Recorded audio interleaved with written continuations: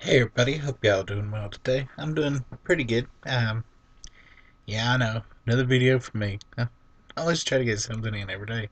Sorry, uh, it's too much.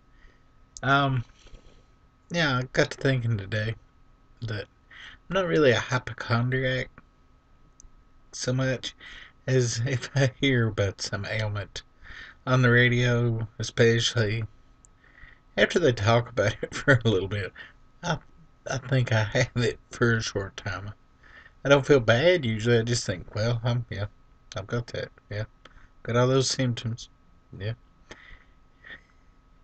yeah. Uh, it sucks to be me sometimes. Sometimes I just lay in the bed and think, well, I'm gonna die here soon. But it also helps me sometimes because I think, well, I better get out, do something, and not sit around the house. Uh, I hope y'all have a great Friday, and we'll see y'all tomorrow for my Operation Fat Ass. Hopefully, I won't gain too much.